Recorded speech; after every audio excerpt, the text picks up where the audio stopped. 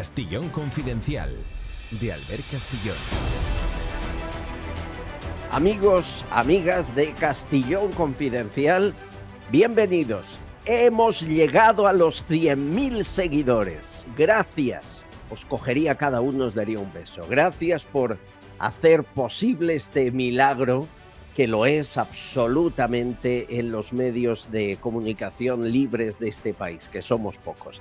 Gracias porque exactamente el fin de semana, con el canal cerrado, sin poder subir vídeos, castigados en la trinchera, se consiguió el milagro de llegar a 100.000 suscriptores, lo cual nos hace tremendamente felices. Miren, este canal se ha hecho con pico, pala, bombas eh, que recibíamos, misiles, disparos, eh, con dificultades de todo tipo. Nos han cerrado el canal dos veces. Eh, ya saben, Bizum funciona poco y mal.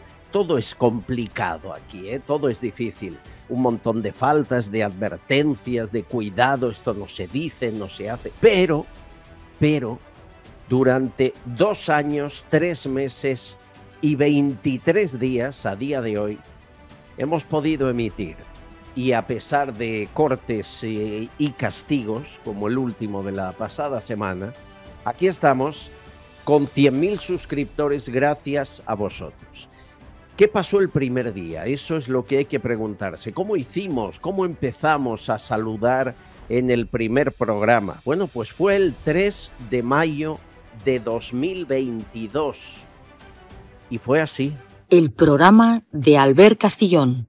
¿Qué tal amigas, amigos? ¿Cómo estáis? Gracias por estar ahí, escuchándonos durante años, descubriéndonos cada día en cualquier rincón del mundo y empezando esta aventura, este programa, podcast, yo no sé cómo llamarle, porque esto no es un podcast, esto es un programa de radio online que se transmite a través de todas las plataformas. La idea cuál es? Muy sencilla, durante algo más de una hora cada día, cada mañana, enterarte de lo que otros no te cuentan y luego lo escuchas a la hora que quieras, día, tarde, noche, madrugada o de aquí un mes o de aquí un año.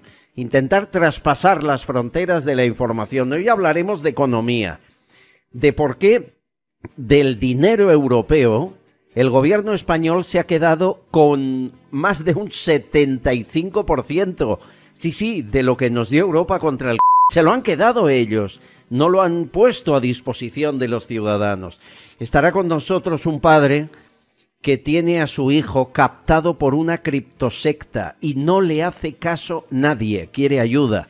Tenemos mucho que contarles, incluso momentos para la diversión y un teléfono de contacto que pongo en marcha ya con buzón de voz, un WhatsApp para todo lo que quieran. 649-532-435. 649-532-435. Aquí estamos intentando tirar adelante y con su ayuda. Muchísimas gracias. Sé que están al otro lado por pasión, por cariño y también por información y no lo voy a olvidar.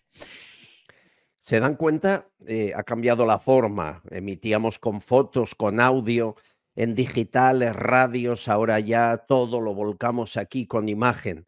Ha cambiado la forma, pero el fondo es el mismo. ¿eh? No pretendemos contar nada que no contáramos.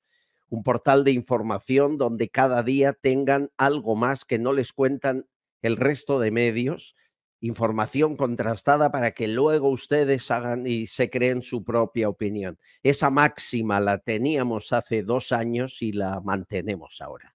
En dos años, tres meses y 23 días hemos conseguido el objetivo principal, pero, pero no el único. ¿eh? Eh, por ejemplo, empezamos con la única financiación de medios eh, y empresas privadas y alguna emisora de radio. Ahora la principal financiación le ofrece YouTube, que a pesar de las prohibiciones y cortes, le estoy agradecido porque nos permite mantener el espacio y nos ofrece más libertad que la mayoría de medios de comunicación de este país, mucha más, mm, se lo aseguro, yo he estado en otros. Y sobre todo ustedes, ustedes eh, se han volcado, han entendido el mensaje. Eh, esto no es un espacio de conspiranoias Eh, aquí no, no somos de Vox, no somos de Ayuso, no somos del PP. Aquí somos del, del, pueblo, de la gente, de los ciudadanos y felicitaremos al político honrado que no meta mano en la caja y sea coherente. Y tenemos claro que hemos de cambiar el sistema, no el partido, que hemos de cambiar eh, eh, la manera de gobernar este país, no que mande uno u otro. Y por lo tanto sabemos con quién no va a cambiar y con quién puede cambiar. Eh, sé que le critican mucho, pero mi ley es un espejo para nosotros, igual que algún otro dirigente también, eh, sin casarnos con nadie, porque no creemos en nadie a 100%. Aquí no ponemos la mano en el fuego ni por uno mismo. Pero está bien que sea así. El sentido crítico de este espacio le hace más libre.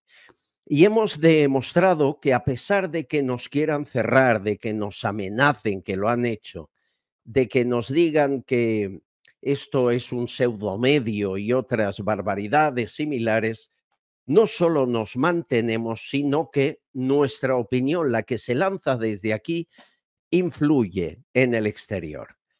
Miren, eh, hace unos años, cuando algo sucedía y no aparecía en las grandes televisiones, radios o en los grandes periódicos, no existía. Hoy ya no hay mil cosas que suceden sin aparecer en grandes medios que no solo tienen efecto social, sino político y judicial. Y les pongo un ejemplo de ello, porque eso se ha conseguido en espacios como este.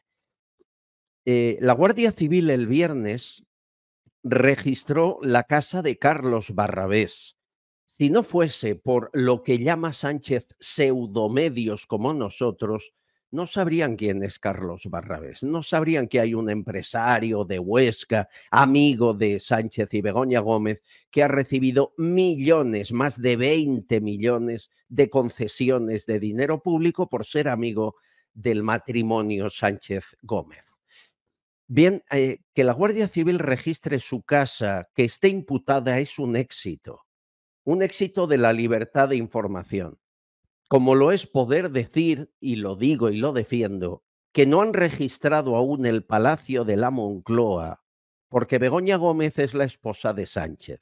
Si Begoña Gómez viviera en Pozuelo, en el piso que le regaló su padre Sabiniano del pago de las saunas, del dinero que consiguió en las saunas, que es donde vivía el matrimonio antes de ser presidente, estaría la Guardia Civil hace ya semanas registrando su piso en Pozuelo pero estando en Moncloa, pues eh, el juez Peinado le da una vuelta más a la historia.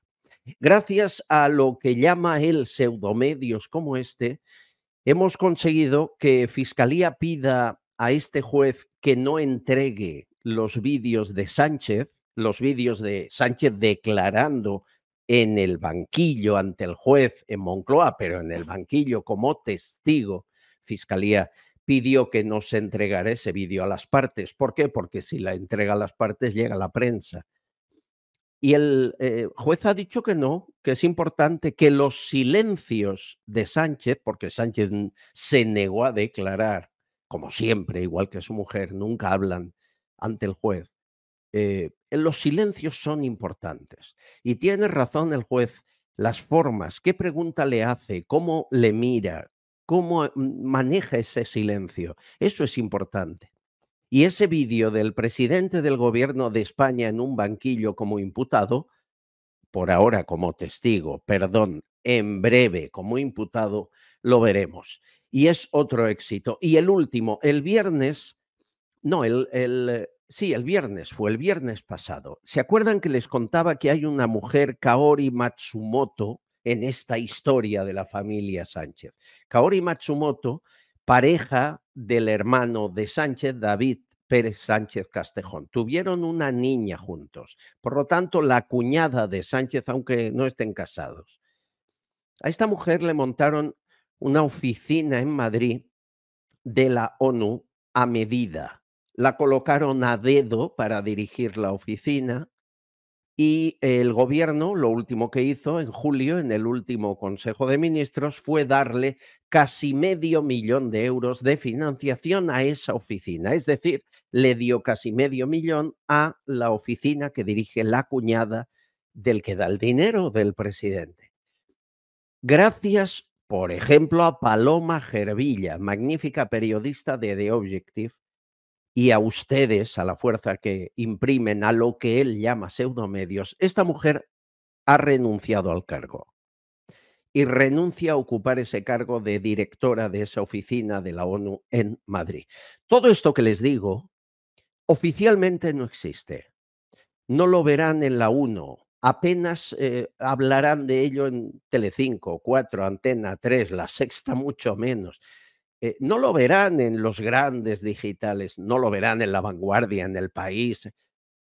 Y sin embargo ocurre, sucede. ¿Por qué? Porque hay una realidad oficial, una verdad oficial, y luego está la verdadera, la que de verdad sucede, la realidad de las cosas. Es como decir, Puigdemont se les escapó y Puigdemont le dejaron escapar. Bien, aquí somos de la segunda aquí estamos en dejar de dar vueltas, eh, eufemismos, metáforas, sinónimos y llamar a las cosas por su nombre. Para eso no hay que insultar, pero sí hay que decir la verdad. Ese fue el objetivo hace ahora dos años, tres meses y 23 días y sigue siendo el objetivo de este espacio hoy.